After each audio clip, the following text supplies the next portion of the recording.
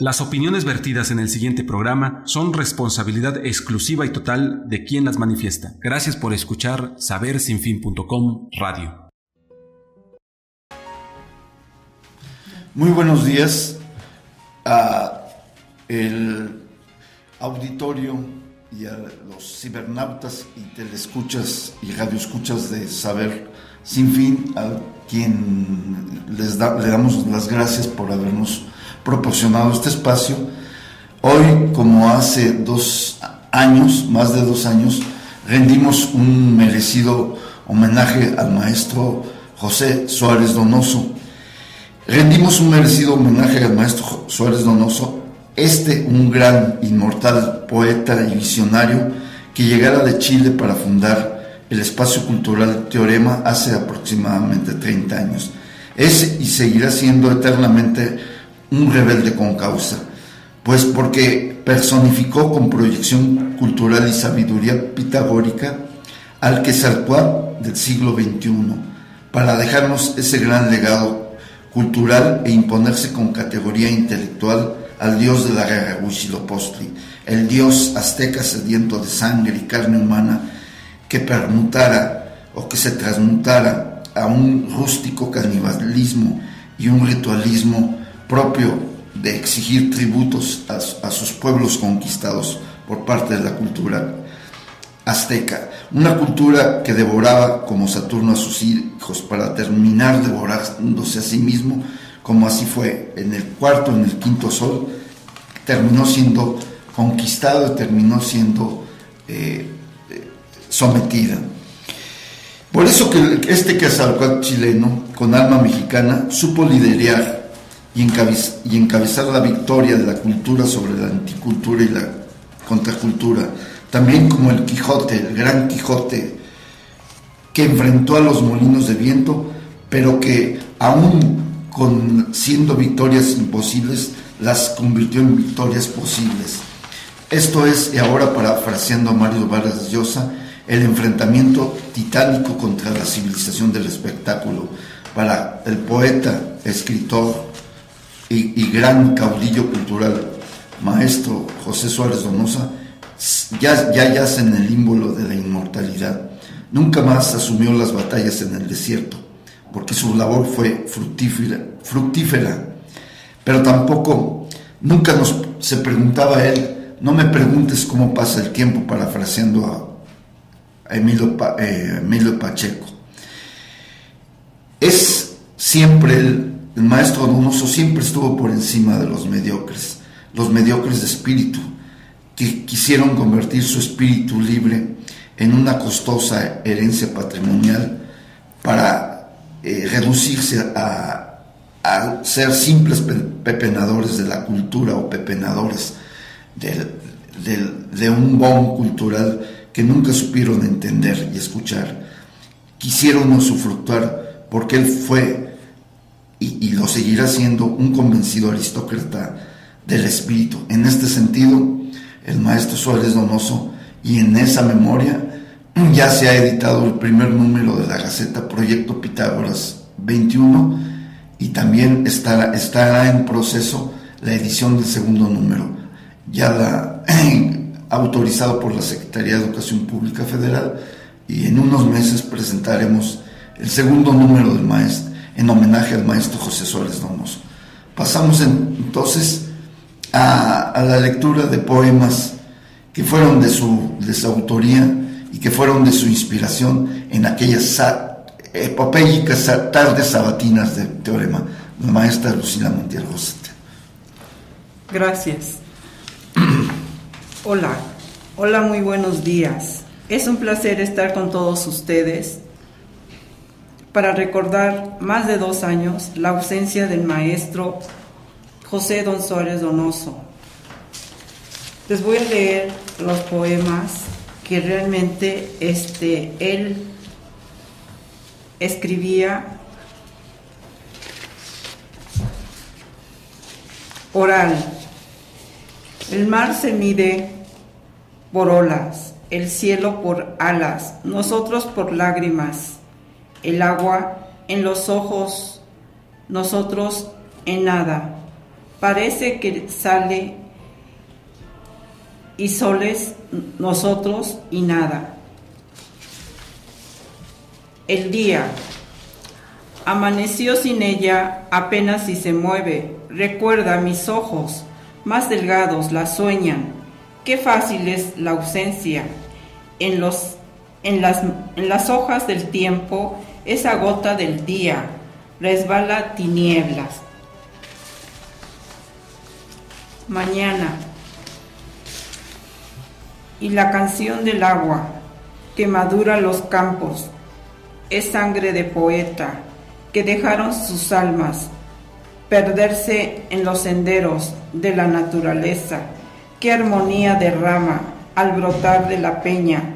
Se abandona a los hombres con sus dulces cadencias. La mañana está clara, los hogares humean, son los humos brazos.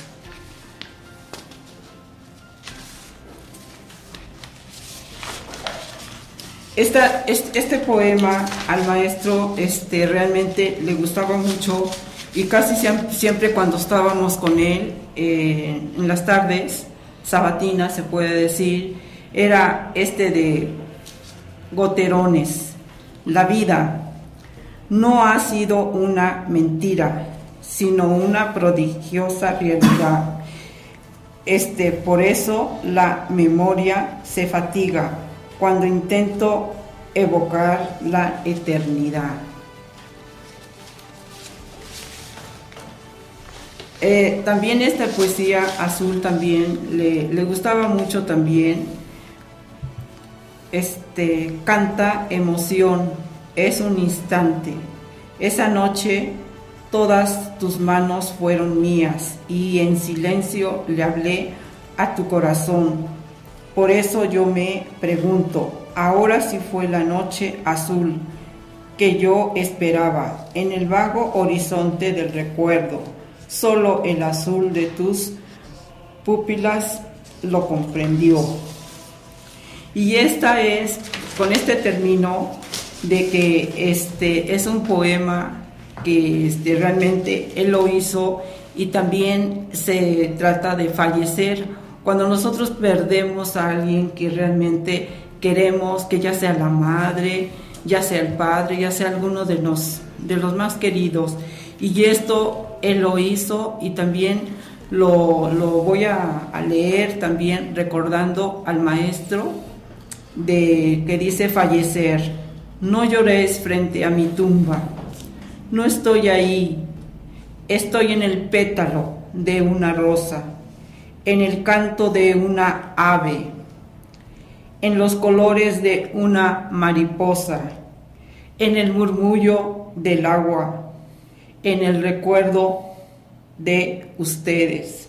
Si me olvidas, entonces estaré muerto.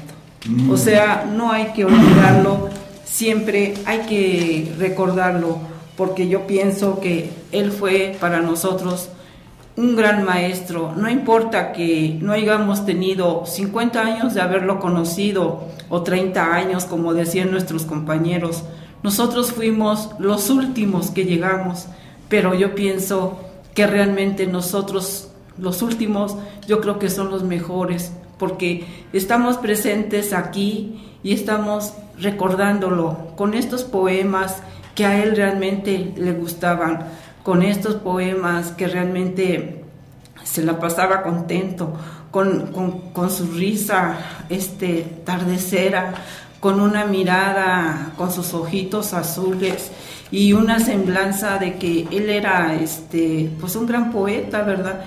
Y realmente a, este, nunca lo veíamos enojado, siempre lo veíamos con una linda sonrisa y eso también nos decía mucho y hablaba bien de, él mismo, ¿no?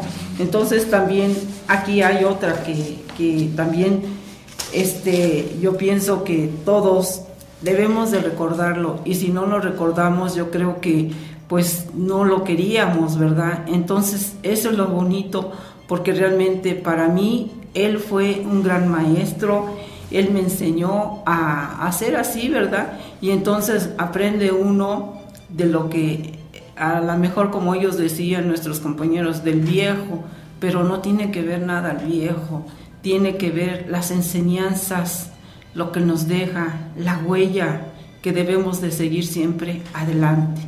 ¿Sí? Entonces con esto finalizo y también hay uno que decía, se escribe porque se tiene que escribir. Nosotros tenemos que seguir escribiendo, tenemos, como decía también él, tenemos que, luchar para escribir y no siempre es que quedarnos estancados, decir lo que nosotros sentimos y hacer nuestras cosas, porque esas enseñanzas nos llevan siempre por un camino muy hermoso y muy bonito, ¿verdad? Eso es todo lo que tengo que decir y muchas gracias. Pues la verdad, mm, eh, como eh, nuestro amable auditorio, teleauditorio, radio radio escuchas, pues se dieron cuenta que los, los, poemas que de puña, de, puña y letra del maestro José Suárez Donoso de manera auténtica, de manera original, pues fueron transmitidos de él hacia, hacia toda la, mesa sabatina de, del debate en teorema. Y que la verdad eh, el haber fallecido un 25 de febrero de 2011, pues no es nada sino fue un, paso a otra, a otra dimensión, un paso a otra, a otra etapa, un paso a otro, a otro proceso, a otro, a otro contexto. Eh, sin embargo, eh, aquí lo interesante es que a, a, dos años de distancia, pues este pensamiento, este, esta poesía, este quehacer poético, este quehacer literario, que tuvo una gran, gran repercusión en Puebla, porque fundó eh, el maestro Suárez vamos un proyecto cultural y que eh, lamentablemente este, nuestra obligación y nuestra responsabilidad sería continuar con ese legado cultural, no abandonarlo, no dejarlo al garete, no dejarlo eh, de manera indiferente, sino continuarlo y es nuestra, nuestra preocupación y nuestra intención. Eh, es, como decía la maestra Lucila Montiel Rosete, los, los últimos fueron, son los primeros. Y efectivamente eh, es un personaje que emblemático de la cultura, de la poesía, de la literatura, de la metapolítica, un hombre que soñó con la democracia, un hombre que, que pensó otro mundo y que, precisamente puso, puso distancia a, una férrea dictadura, una férrea dictadura que no, que no, este, que no conocía los disensos, que no reconocía los disensos y las críticas, sino al contrario, las eliminaba, las erradicaba, pero que en ese, en ese momento pues ahí está la, grandeza de este gran, gran poeta y que desde luego eh, está a la altura pues de un Hugo Leitch, quizás también de un Juan de Palafox y Mendoza,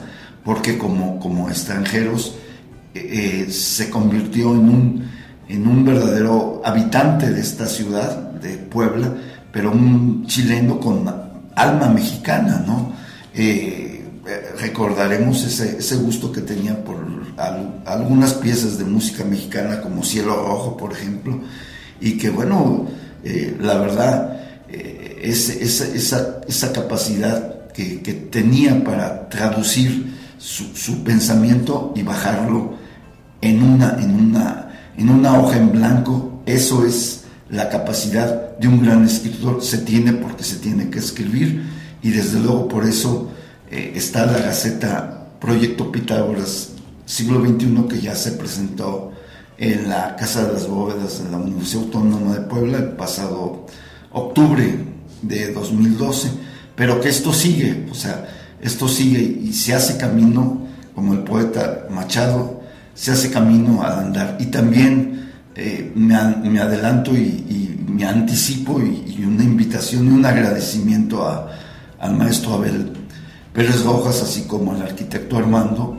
pues por este espacio, pero también hacerles la invitación que, en, unos, en unas semanas más en el Centro Universitario de Puebla se le hará un homenaje al maestro José Suárez Donosa, Donoso con un recital poético, donde este, eh, estaremos nosotros desde luego participando. Pues muchas gracias por, por habernos eh, dado este espacio y por siempre, nunca olvidar a este, a este gran personaje que sembró en nuestra mente y nuestro corazón el espíritu libre del pensamiento crítico y el espíritu cultural. Muchas gracias.